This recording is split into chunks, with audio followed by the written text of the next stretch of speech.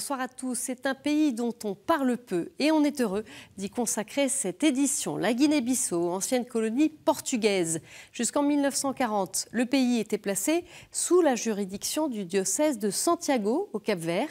Le premier diocèse de Guinée-Bissau est jeune. Il a été érigé en 1977. Alors quelles ont été euh, les étapes de l'évangélisation? Qui sont euh, les chrétiens aujourd'hui? Quels défis aussi pour les jeunes bissau-guinéens? Les deux tiers ont moins de 25 ans dans ce pays pauvre malgré d'importantes ressources naturelles. On va en parler dans un instant avec notre invité, le père Élie Cassien Colli, spiritain, missionnaire en Guinée-Bissau pendant six ans. Mais tout d'abord quelques repères petit État d'Afrique de l'Ouest bordé par l'Atlantique. La Guinée-Bissau est frontalière avec la Guinée-Conakry et le Sénégal. Sa capitale est Bissau. Euh, sa population se situe autour de 2 millions d'habitants. Et puis sur le plan religieux, eh bien, les musulmans sont majoritaires, représentant 46% de la population, tandis que les adeptes des religions traditionnelles sont autour de 31%. Les chrétiens, eux, se situent autour de 19%, dont la moitié sont catholiques. Tout de suite, je retrouve notre invité.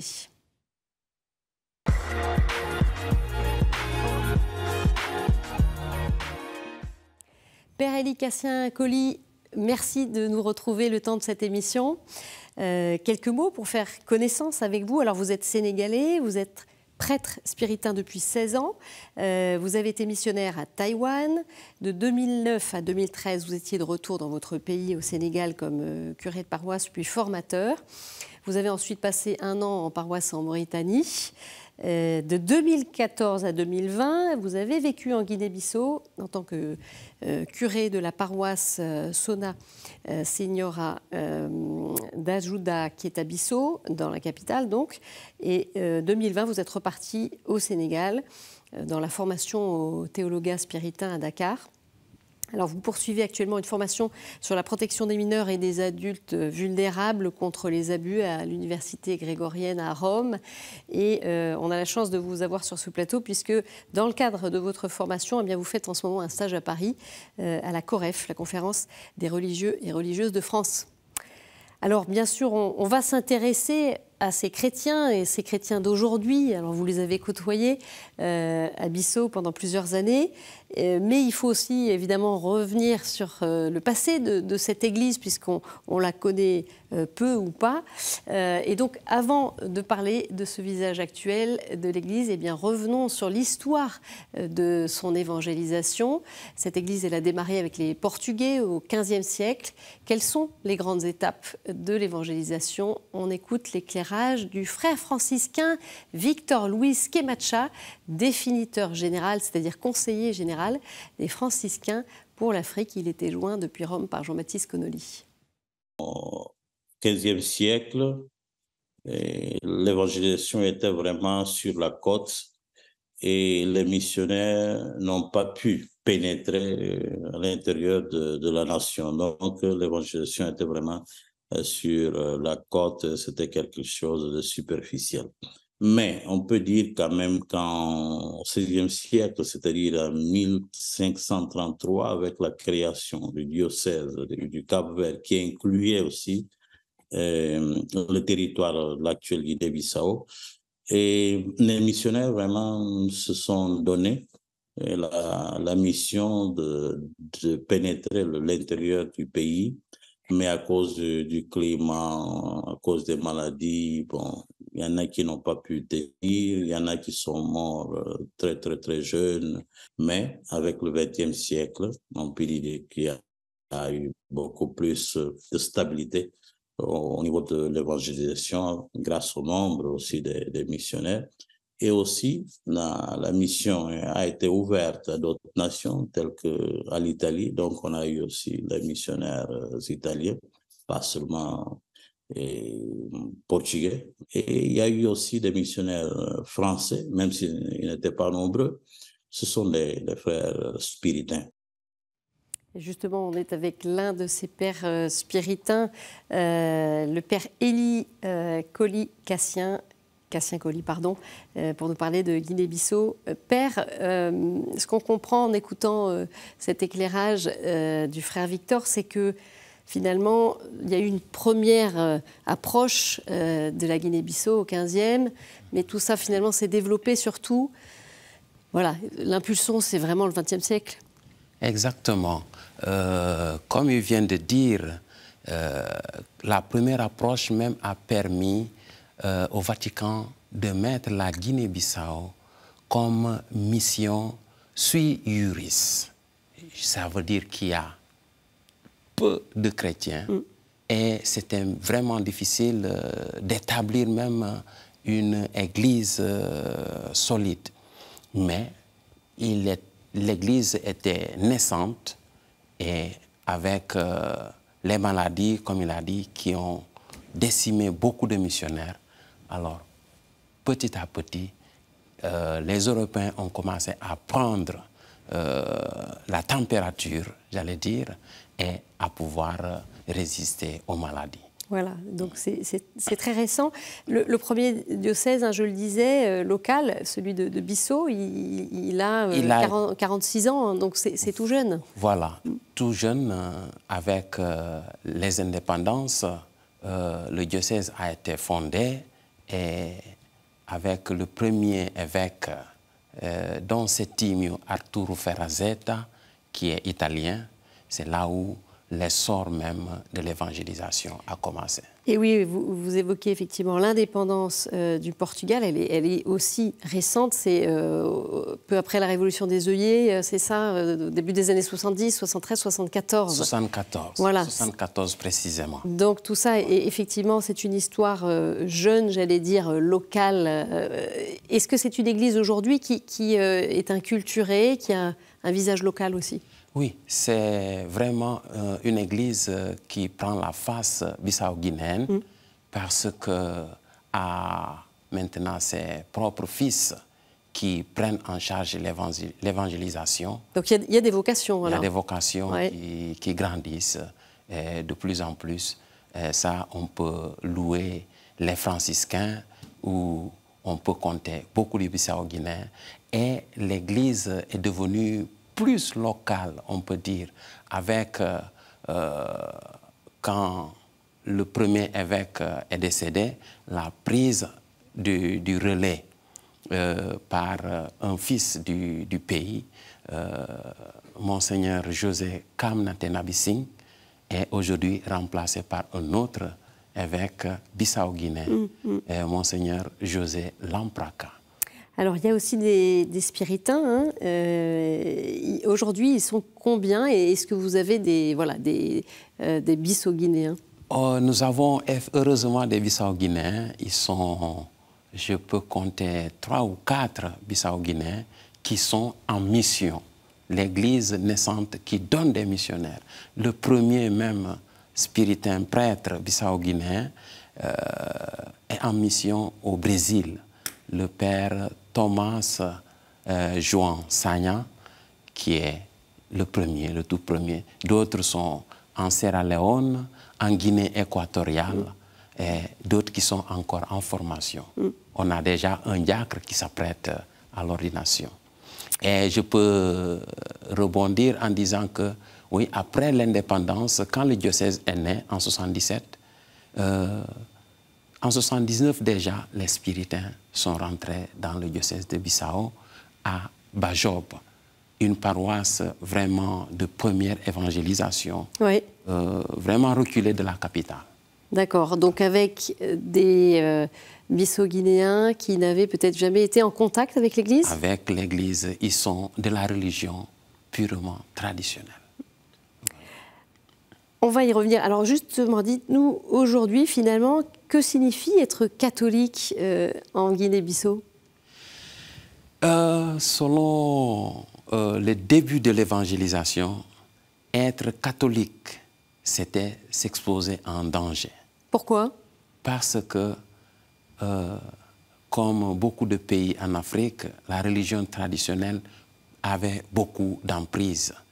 Et sortir de la religion traditionnelle pour se faire catholique euh, était considéré comme euh, trahir sa propre religion qui était assimilée à la culture. Alors, ceux qui, sont, qui se sont fait baptiser ont vraiment euh, subi des persécutions, des menaces, si on n'était pas fort, on n'était pas solide, on pouvait facilement abandonner la foi chrétienne. Et certains même, je prendrais un village de Susanna, vers la frontière avec le Sénégal, où les nouveaux chrétiens, les jeunes convertis étaient obligés en certain moment de se regrouper à côté de l'église pour avoir une certaine sécurité. Sinon, dans la société, disons dans le village, ils étaient euh, exposés peut-être même à la persécution, à l'empoisonnement. Voilà. Donc c'est des choses qui existent, ça, euh, aujourd'hui encore? Aujourd'hui, non, on peut dire non. Parce que même au niveau de l'État, la religion est quelque chose de libéral. Chacun peut choisir sa propre religion. Voilà, il y a une liberté religieuse. Il y a une liberté religieuse. Et aujourd'hui, bon, mon temps, mon séjour à Bissau m'a permis de voir quelque chose qu'on pouvait vraiment, euh, j'allais dire, euh, s'émerveiller. Parce que c'est pas rare de rencontrer un chrétien qui s'identifie. Pour missionnaire que j'étais à Bissau, je voyais très souvent des chrétiens, surtout des jeunes, très dynamiques, avec un chapelet autour du cou. Ça veut dire qu'on ne se cache plus qu'on est chrétien. Alors justement, il y a ce, effectivement euh, cette diversité religieuse. Euh, on parlait euh, notamment de, ces chrétiens, donc c'est 20%. Il y a, d'autres, il y a d'autres confessions chrétiennes, hein, et notamment un essor des, églises évangéliques. Alors justement, là-dessus, quel, quel, quel, rapport les chrétiens ont à ces églises? Est-ce qu'il n'y a pas la, la tentation aussi du syncrétisme? Oui, il y a la tentation même d'avoir été baptisé catholique et de virer chez les évangéliques. Parce que je peux noter que chez les évangéliques, leur culte, c'est vraiment euh, très bouillonnant, c'est mouvementé pour quelqu'un qui aime que euh, l'ambiance, tu peux facilement virer. Est-ce que c'est une préoccupation pour l'Église catholique cet attrait justement euh, que suscitent les, personnellement, les, églises évangéliques? Personnellement, comme euh, pasteur de la paroisse où j'étais Notre Seigneur la Juda, c'était une préoccupation parce que j'étais à, la limite entouré de ces églises. Euh, les églises du réveil. Du réveil et les églises évangéliques. Mais pas, pas une préoccupation à s'alarmer parce que, voilà, moi personnellement, j'ai instauré même la catéchèse après la confirmation. Donc, euh, il y a un temps de catéchuménat, il y a beaucoup de catéchumènes, mm. et baptême, confirmation, baptême, communion, confirmation, il y a certains qui ont tendance, qui ne sont pas très forts, et c'est évangélique, hein, de virer, de laisser tomber parce qu'on leur a promis monts et merveilles de l'autre côté. Donc vous, vous essayez de, voilà, de les encourager. De les encourager, de leur donner même une culture après la formation. La, formation, disons, euh, la formation initiale. Alors il y a aussi, euh, Père, euh, donc l'importance de la religion traditionnelle, vous le disiez. Là-dessus, c'est quoi le, lien des chrétiens avec l'animisme? Est-ce que finalement la société, elle n'est pas imprégnée de ça? Est-ce que les chrétiens, voilà, arrive à, faire, euh, à mettre la distance par rapport à ça ou pas? Oui, euh, ça me rappelle euh, beaucoup de fois quand on parle même de dialogue interreligieux. C'est facile pour un chrétien bissau-guinéen de dialoguer avec un musulman, de dialoguer avec un évangélique, mais plus difficile de dialoguer avec un adepte de la religion traditionnelle. C'est ce que vous évoquiez tout à l'heure, hein, ce, manque d'acceptation. D'acceptation où j'ai l'impression qu'on considère que cette forme de religion n'en était pas une. Il faut, pour pouvoir dialoguer, reconnaître quelqu'un dans sa nature et ainsi le dialogue peut passer. L'islam a quel visage, Père? Euh, L'islam euh, n'est pas aussi, euh, j'allais dire, c'est pas un islam qui peut persécuter. Hmm. C'est un islam vraiment modéré. très modéré et on s'entrelace entre chrétiens et musulmans sans problème. Même s'il y a pu y avoir des, de manière ponctuelle des événements violents euh, de temps à autre, j'ai une fois entendu qu'il y a eu une église qui a été vandalisée, mais je ne peux pas mettre cela sous le compte de l'islam, mm. parce qu'il n'y a même pas de signature, il n'y a personne qui se réclame euh, musulman qui a, mm-hmm. euh, disons, qui avoue avoir commis ce forfait. Mm. Donc, franchement, je, je, je vois qu'il y a une relation euh, vraiment sympathique avec, euh, entre les chrétiens et les musulmans. D'autant plus que même dans les structures même de l'Église, il y a des musulmans qui y travaillent. Mm. Je prends l'exemple de la radio euh, chrétienne, la radio Solmansi, il y a des journalistes musulmans qui y travaillent. On va parler, Père, euh, pour cette dernière partie de, votre mission à Bissau. Mais avant cela, on va écouter euh, le témoignage d'un catholique bissau-guinéen, Jacques Chapali, euh, laïc engagé à la paroisse Beata Annuarit à Bissau. Cette paroisse regroupe deux communautés créoles, lusophones et une communauté francophile.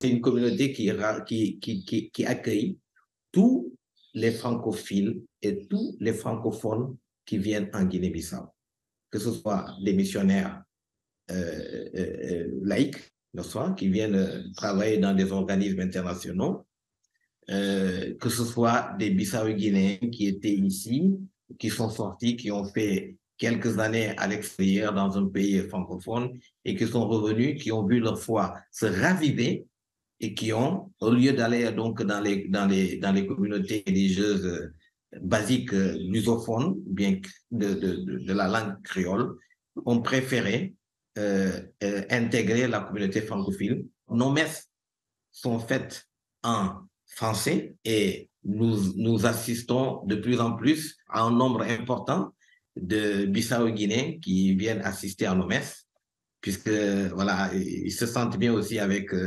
avec cette ambiance voilà de messes différentes un peu plus ou moins. Et puis, euh, étant donné que nous sommes avec deux autres communautés lusophones, euh, souvent, lorsque le moment l'exige, nous faisons la messe dans les deux langues. Voilà, une, paroisse, euh, Père, à laquelle vous étiez lié, hein c'est la paroisse Beata à Nurit. Oui, oui, c'était une des, un des clochers de la grande paroisse que j'avais. Donc, c'est une paroisse récente, voilà. bienheureuse à Ce qu'on entend, donc j'imagine que vous aviez à peu près les mêmes euh, types de populations de fidèles, donc c'est euh, des francophones et d'autres, et donc finalement une diversité aussi euh, de pays, c'est pas uniquement des, des Bissau-Guinéens. Oui, c'est une diversité de pays parce que dans la ville même de Bissau, un peu partout, on accueille beaucoup d'immigrés de, qui viennent dans le cadre de, du travail, mm. comme les agents des Nations Unies, ou dans le cadre du commerce. Voilà. Une question sur les jeunes pères. Euh, voilà le, la difficulté peut-être aussi que certains peuvent vivre, euh, puisqu'on sait que euh, c'est un pays voilà, où il y, a, du chômage, il y a beaucoup de, de pauvreté. Il y a des perspectives, et c'est quoi les perspectives pour eux? Ben, Pour le moment, le grand défi, c'est de pouvoir trouver le débouché pour euh, ces jeunes qui, après avoir fini la formation euh, universitaire euh, ou, disons, scolaire, de pouvoir trouver du travail. Vous étiez en lien avec pas mal de jeunes, Père Oui, on était en lien avec pas mal de jeunes et on les voit très dynamiques. Dans l'Église, on ne peut pas s'en douter. Maintenant, dans la société. Si bien qu'ils sont la majeure partie tentés par l'immigration. Essayer de faire un tour en Europe et très souvent au Portugal. Mm. Et c'est la raison pour laquelle on peut former eh, des jeunes qui, pensant prendre le relais, se retrouvent euh, à l'étranger parce qu'il fallait poursuivre une spécialisation ou trouver une vie mm. meilleure. Voilà. un défi, j'imagine, aussi pour l'avenir de, cette Église. Euh, merci beaucoup, Père euh, Élie Colli-Cassien, pour votre éclairage sur la Guinée-Bissau et, son Église. Tout de suite, on va parler de quelques autres informations dans le monde.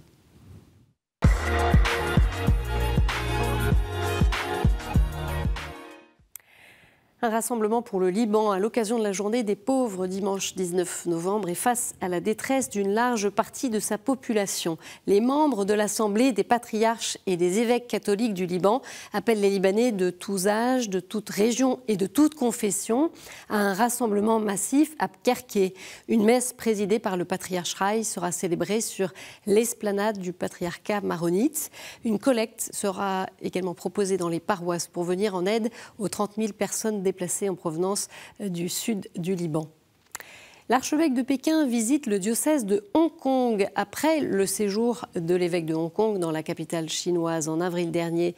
Monseigneur Li Shan, évêque de Pékin, est à son tour à Hong Kong à l'invitation du cardinal Shaw. But de ce voyage, promouvoir les relations entre les deux diocèses. Mais cette visite a aussi un enjeu politique, l'évêque de Pékin étant président de l'Association patriotique des catholiques chinois, un organe contrôlé par le Parti communiste chinois. On écoute l'éclairage du sinologue Alain Wang. Monseigneur Lichan arrive en tant que euh, potentiellement quelqu'un qui essaie euh, de, de, remettre Hong Kong dans le giron de la Chine avec une église de Chine qui se veut indépendante, même s'il y a eu des accords récents entre le, le, le, Vatican et la Chine sur la nomination des évêques, par exemple. Il faut bien se souvenir quand même que euh, l'Église catholique à Hong Kong gère euh, des, des hôpitaux, elle gère des écoles, euh, donc elle a une influence très très importante dans la population. Et donc évidemment, euh, la Chine va essayer, enfin Pékin va essayer, Xi Jinping en particulier, va essayer de reprendre véritablement la direction de toutes ces institutions. Donc on le sent déjà puisqu'il y a des stages obligatoires de, de patriotisme, de, de étudier la pensée Xi Jinping. Donc on sent que véritablement il y a de plus en plus une pression de la part de Pékin sur la population de Hong Kong. Au Vatican, le monastère Mater Ecclesiae va accueillir des religieuses contemplatives.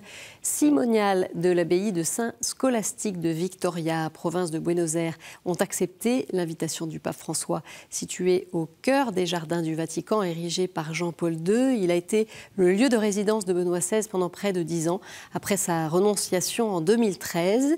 Il retrouve ainsi sa vocation originelle, être un lieu de résidence des ordres contemplatifs pour soutenir le Saint-Père à travers le ministère de la Prière. Les six religieuses s'y installeront en janvier prochain. Voilà, tout de suite, c'est la chronique du monde.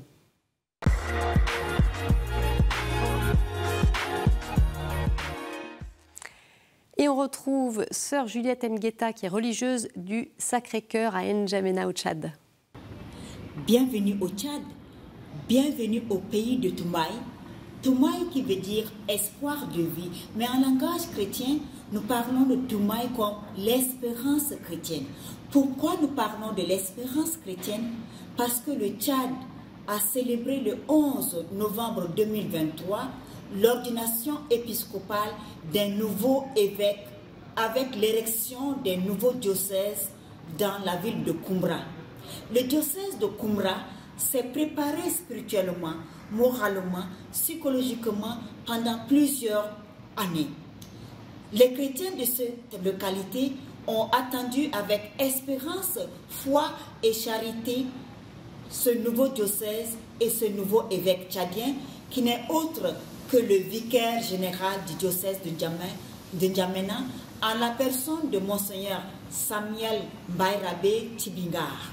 Oui, plus de 1000 personnes sont venues à travers le Tchad entier pour se joindre aux chrétiens sur place pour célébrer cette grâce. Le grand défi qui reste, c'est les structures à construire, la formation du clergé local, la formation chrétienne et spirituelle avec les valeurs chrétiennes à vivre dans la vie de chaque jour. Dieu fait grâce en ce temps où nous vivons encore dans la communion des saints. Merci, Sœur Juliette. Voilà, c'est la fin de cette édition. Vous pouvez la retrouver sur euh, notre site, nos réseaux sociaux également, euh, sur KTO Radio. Je vous souhaite une très bonne semaine et je vous dis à jeudi. Au revoir.